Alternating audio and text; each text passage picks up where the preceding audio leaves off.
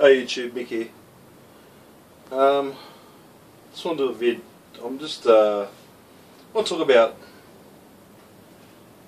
big knife versus small knife, and I guess um,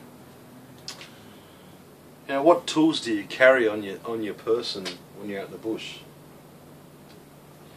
and you know what is the best option? I mean, we all know a big knife is good for chopping and batoning and blah blah blah.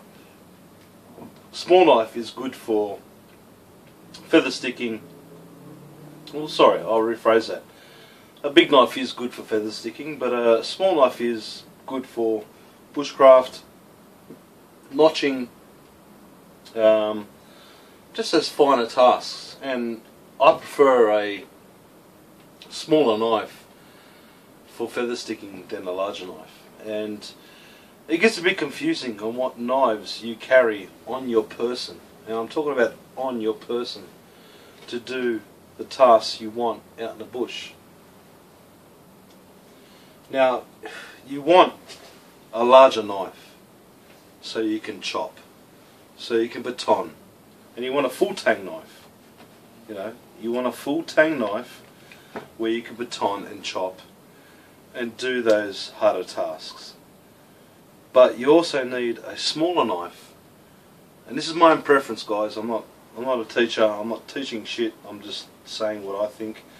But you need a smaller knife where, you know, you take it out, it's comfy in your hand, it's small enough to do feather sticking, to do notching, to cut your steak or your meat when you're eating.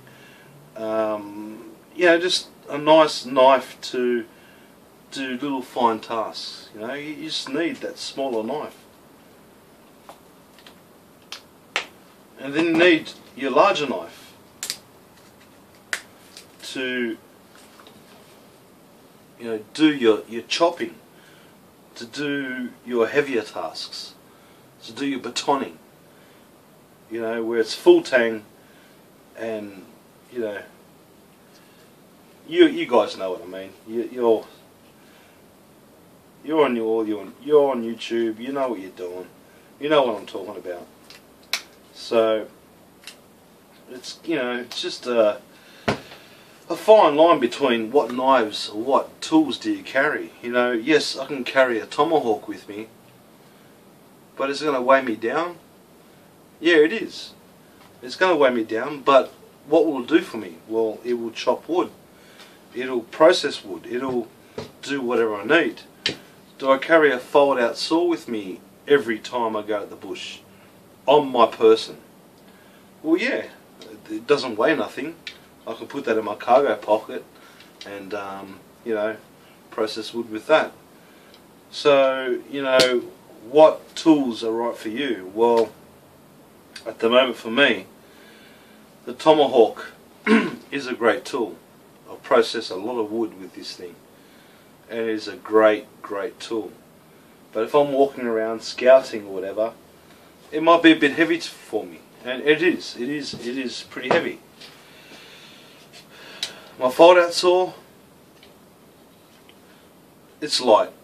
It, it's light as yes that can slide into my pocket and I can carry that for backup. So yes I will take that with me my lightweight bushcraft oops sorry my lightweight lightweight bushcraft knife sharp as good for feather sticking good for just notching good for carving good for cutting my steak good for a lot of reasons. It is a great knife. It is a great great knife. And yes, for little kindling, you know, little sticks and, and batoning, it'll do the job. It ain't a full tang. I don't care what people say. A buck 192 or buck Vanguard is not a full tang. It's a rat tail, okay, and that's all it is. And it's good for batoning little kindling, okay, not chopping big chunks of wood, but it's great for feather sticking great for notching, great for fine work, great for skinning. Grab it up there and skin game. It's a great little knife to have on you. I want to say little, it's a 4 inch knife. Um, it's a great knife to have with you as probably your most primary knife that you're going to carry in regards to most of the tasks you're going to do. And it will show, it will, it will spark a fire steel beautifully. Yes, I've had to modify it.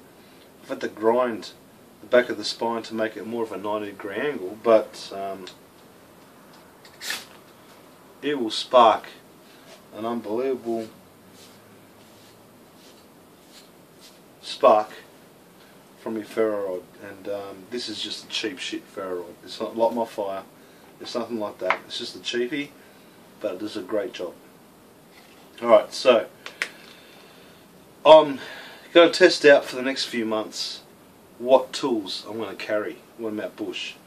This is going to be one of them. This is going to be my primary knife in regards to processing game if I have the need, feather sticking, notching, making traps if I have the need, cutting my steak when I'm around camp, you know, just eating, and instead of, you know, carrying a, a, a steak knife, this thing comes out, cuts my steak, it will process my onions, my tomatoes, whatever food prepping comes into play.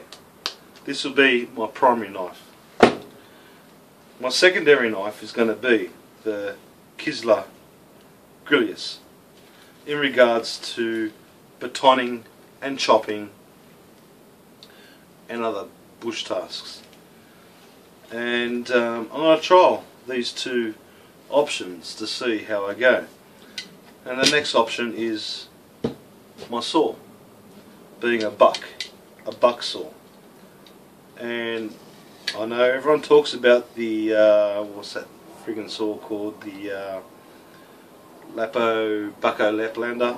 Yeah, great saw, never had one, but for what I've seen, great saw. Well, I'm telling you, this is another great saw, the Buck. Does me well, and uh, is a great little saw. So they're probably my three preferred tools out in the bush. Um, an axe. I want an axe. I, I, would really prefer an axe on my person, but that's starting to weigh me down. And a tomahawk is going to be a lot lighter than your Gransfors Bruks axes. Now, Gransfors Bruks axes are the CUDA. They're the shit. They're going to do a lot more things than a tomahawk can. But my tomahawk is capable of doing a lot, a lot of tasks. So, do I carry these three pieces and a tomahawk on my person? No, I won't. I will probably carry my tomahawk on my backpack or my haversack or whatever bag I have. This will be separate to my on my person carry. These three items here would be on my person. As I said, this weighs nothing. They can go in my cargo pocket. This, yeah, is half a kilo of weight, but I have my shoulder strap system where I can, you know, cater for that, or I can get my pistol belt and put it on my pistol belt. And this, this weighs nothing. It just weighs jack shit, to be honest. And um, yeah this would be my primary kind of you know bush EDC knife. And then when the heavy tasks come this would be it. And that would be it. So that's on my person tools. Besides this would be a Leatherman obviously. Um, being a Leatherman sidekick the Leatherman wave the Leatherman charge whatever you choose, I always choose Leatherman. Doesn't matter what model it is, I just choose a Leatherman multi-tool. As long as it's got the pliers, that's what I choose. And um, my Leatherman at the moment is in my day hike bag. So yeah, so um, I'll, I'll grab a Leatherman. That's my Leatherman sidekick right there. You know, if I need pliers, bang, boom, it's there. I need it all, it's there. I need a saw, it's there. Um, it's just, you know, I need a knife, it's there. But uh, with me, a multi-tool, the main purpose of a multi-tool basically is the pliers and the awl. Um, I've got my cutting blade, I've got my chopper, and I've got my saw. So if I can find a multi-tool with good set of pliers and a nice awl, for me that's pretty much all I need. And scissors is a bonus. Um, and for me scissors are, you know, they're pretty important. It's just, it's easier to cut stuff, you know, if you have to manicure yourself, um, you're not going to do it with a knife, you're going to do it with scissors. So, um, actually this is the Leatherman Wingman, not the uh, Sidekick. So,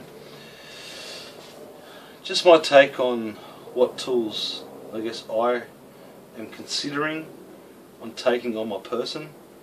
Um, you know, again, a multi-tool, a fold-out saw, a full tang, seven inch to seven and a half inch chopping kind of um, all all round blade, and then my kind of bushcraft blade.